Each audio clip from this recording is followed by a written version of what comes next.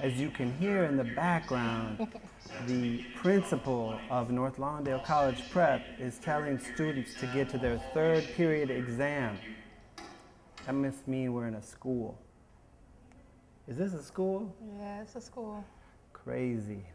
Hey, what's up, people in Youth Media Reporter Land? Uh, this is Jeff McCarter here, uh, founder and executive director of Free Spirit Media, alongside. Hi, I'm Paris Brown.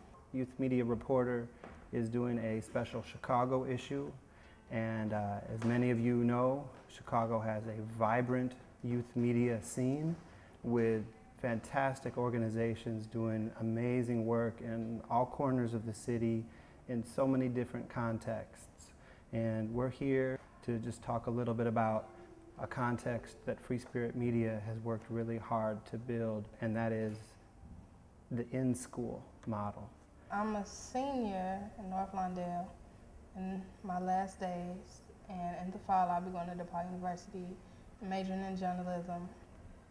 And I love writing, video, journalism, photography type stuff.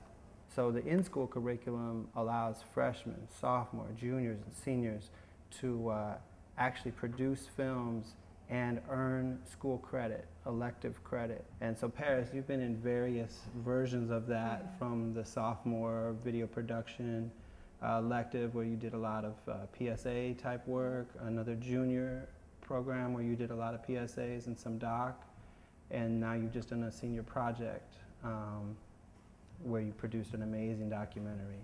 Uh, can you talk us through those experiences a little bit? I came to North Lawndale my sophomore year, and they were like, "What do you want to do? Art, drama, video?" I'm like, "Video? I never heard of video being in school." And I was like, "Video sounds cool." Um, I took the class. It was amazing. And then junior year, I really got into it. Even though I was scared of cameras, I never wanted to work with cameras. Um, I started editing and just fell in love with editing. And then my summer my junior year, I did Umoja, which is more movies, and we created a documentary about um, police in the North Lawndale community. And I got to edit again, which made me so excited. And um, I actually made the soundtrack for the documentary too. And then senior year, I did a documentary about domestic violence in the LGBT community. And I got to do camera work, which scared me a lot but I feel really confident in it now. Um, I edited it and just thought of everything, and it was extremely hard. But now I look back and it's like the most beautiful thing ever. It's my baby, my everything, and I'm just happy to show it to anybody. I'm gonna take it back for the world. And if I didn't do all this stuff, I don't know what I would be doing. My high school career would have been extremely boring if I wasn't here, Free Spirit Media, having a ball. So, uh, Paris, that's really nice of you to say.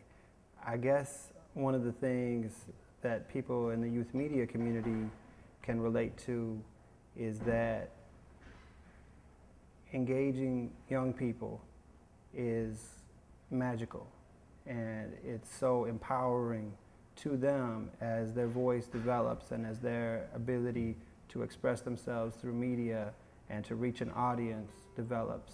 I feel like schools should be incredibly uh, rich and wonderful places for students to want to come, to want to learn and express themselves.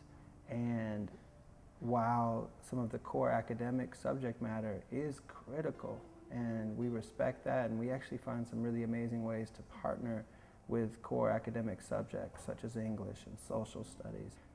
I also feel like there's a huge value in giving young people a context to express themselves and to explore their ideas in a less traditional and, and more kind of artistic and multimedia and new media platform.